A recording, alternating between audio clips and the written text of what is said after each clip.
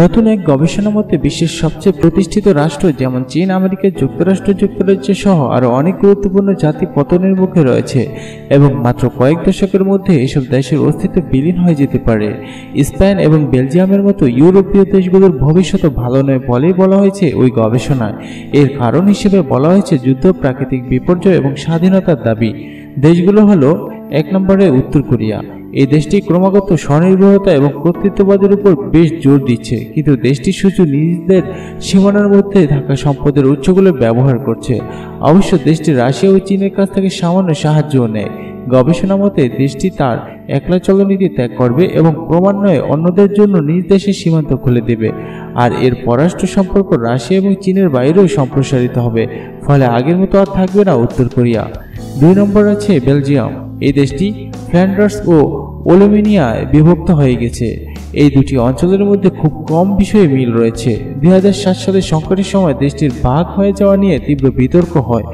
ওলুমিনিয়া জনসংখ্যার বেশিরভাগই ফরাসি ভাষাভাষী, যারা ফ্রান্সের সঙ্গে এক হতে চায়। অন্যদিকে ফ্রান্সের মানুষেরা ফ্লেমিশ এবং আলাদা রাষ্ট্র গঠন করে স্বাধীন থাকতে চায়। তিন নম্বরে আছে চীন। এই দেশটি বিশ্বের সবচেয়ে বেশি শক্তিশালী অর্থনীতিগুলোর মধ্যে একটি। দেশটির রয়েছে অনেক বড় শক্তিশালী সেনাবাহিনী। কিন্তু চীনে যে একটা ধ্বংসযজ্ঞ চলছে তা কোনো বিদেশি হুমকি থেকে আসছে না, বরং নিজেদের প্রাকৃতিক পরিবেশ ধ্বংস করার কারণেই তাদের এই ধ্বংস চলছে। তবে বহুদিন ধরে চীন তা মোকাবেলা করছে, কিন্তু এখন সমস্যা অনেক তীব্র আকার ধারণ করছে। বেজিং এর মতো নগরগুলো বিষাক্ত ধোয়ায় কুয়াশাচ্ছন্ন হয়ে পড়ার মতো সমস্যা আক্রান্ত হচ্ছে। ফলে মাঝে মধ্যেই নগরের বাসিন্দাদের ঘর থেকে বের হতে নিষেধ করা হয়। চীন সরকার এই পূর্বাভাসও দিয়েছে যে দুই সালের মধ্যে চীন পানযোগ্য পানি সব শেষ হয়ে যাবে। চার নম্বর আছে ইরাক। মধ্যপ্রাচ্যের এই দেশটিও এমনভাবে বিভক্ত হয়ে পড়বে বলে ধারণা করা হচ্ছে যে সেই ক্ষত আর সহজে সারানো যাবে না।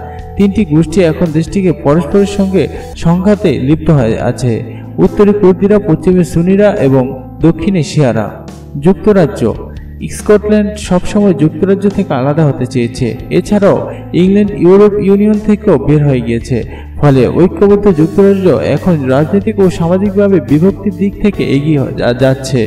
ছয় নম্বর আছে যুক্তরাষ্ট্র। মার্কিন যুক্তরাষ্ট্রের সামাজিক ও রাজনৈতিক বিশ্বাসে গভীরভাবে বিভক্ত। জাতিরাষ্ট্রটি অনেকগুলো সেক্টরে সমন্বয়ে গঠিত, আর প্রতিটি সেক্টরের মানুষের এই আদর্শিক বিশ্বাস আলাদা, ফলে যুক্তরাষ্ট্রীয় ব্যবস্থা ভেঙে পড়ার আশঙ্কা রয়েছে। স্পেন, দুই হাজার আট সাল থেকে দেশটি অর্থনৈতিক সংকটে ভুগছে। জিডিপিতে তাদের ঋণের হার চুরানব্বই পার্সেন্ট স্পেনের জনসংখ্যার এক চতুর্থাংশ বেকার, ফলে দেশটির তরুণ সংখ্যা কাজের সন্ধানে ইউরোপীয় ইউনিয়নের অন্যান্য দেশে পাড়ি জমাচ্ছে।